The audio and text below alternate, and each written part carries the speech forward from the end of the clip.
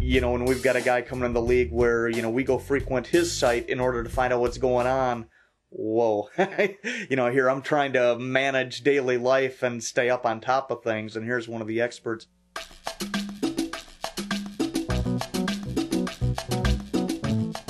I don't care really about numbers. You know, all I want is to stay healthy and be out there every five days. I used to be worth like twenty-five dollars, but now I'm worth a buck and a half. So I'm your guy. I'm the guy to go with this year. I'm gonna go out and play, uh, play the way I can. Hopefully, I can uh, score a lot of runs, steal some bases for him, and uh, you know, uh, just just do big things. Expect 15 or more wins. 150 or more strikeouts. He's going to get his money's worth this year. If I get another 400 at bats, uh, you let him know that it's going to be worthwhile. I'll tell you what, if anybody's waiting for me to steal bases to get some points, they're going to be uh, in big trouble because I had one last year and I'm looking to get two this year.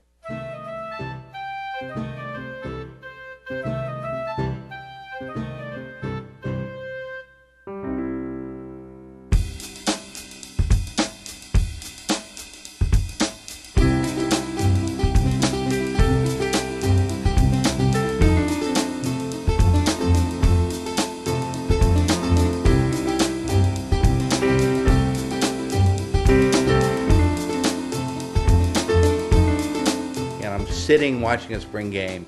So I'm talking with the fans around me, and I'm somebody mentions, well, who is so and so? Oh yes, um, he came up um, uh, with the Dodgers in '94. Got an arm trouble, was released by the organization, picked up by the Twins in '97, pitched out of the bullpen uh, ineffectively, went to AAA, had a great season, has been signed for 1999. You know, and you just sort of casually mention this, and I have gotten the greatest sort of honorific that you can in the stands. Someone will turn to me.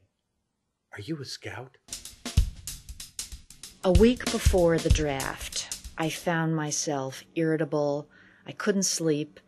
I was getting up at three o'clock in the morning, going over to my desk at home, you know, turning on the light, writing statistics, memorizing numbers, names, positions, you name it. I was physically ill.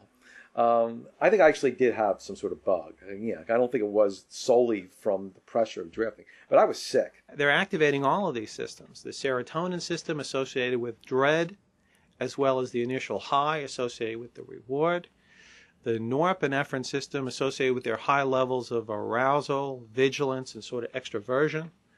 And the dopamine system starts to get activated when they're starting to be reinforced or rewarded.